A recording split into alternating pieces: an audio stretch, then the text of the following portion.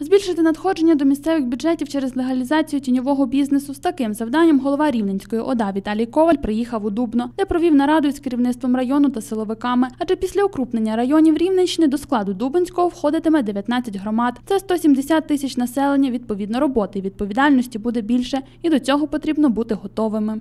саме місцеві люди будуть відповідати за ту територію, на якій вони живуть. І вся повнота влади, вся відповідальність переходить на місця. В Дубному це надзвичайно е, відповідально, тому що це буде великий Дубинський район.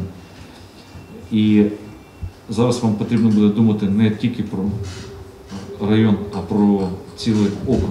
Нелегальний видобуток бурштину, піску, незаконні АЗС та пилорами це лише деякі чинники, які негативно впливають на надходження до бюджету області та районів. Тому, аби Рівненщина розвивалась, ніхто не має залишатись осторонь. Ми з вами маємо сьогодні сконцентруватись на тому, що ми творимо територію рівних можливостей.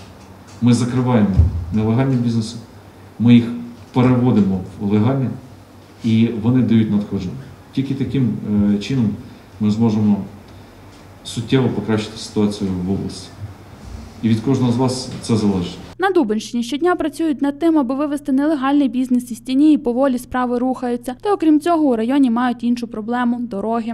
Сьогодні є великий об'єм необхідних е, робіт е, в межах експлуатаційного отримання, поточного ремонту, капітального ремонту е, доріг місцевого значення, обласних та сільських доріг, які сьогодні знаходяться на балансі управління капітального будівництва. Віталій Коваль зазначив, що за підрахунками на першу хвилю ремонту доріг області потрібно 50 мільярдів гривень. Сума значна, але завдяки програмам та фінансуванню з різних бюджетів вдасться проводити ремонти. Фактично область е, по дорогам точно відчує, що таке велике будівництво, особливо на державних дорогах.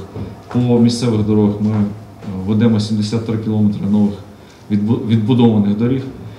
Е, Зрозуміло, що не все за один рік, але точно у нас є розуміння, що дороги це артерії, і ми їх маємо в першу чергу побудувати, щоб зменшити витрати на ремонти, на незручності і пришвидшити всю економіку.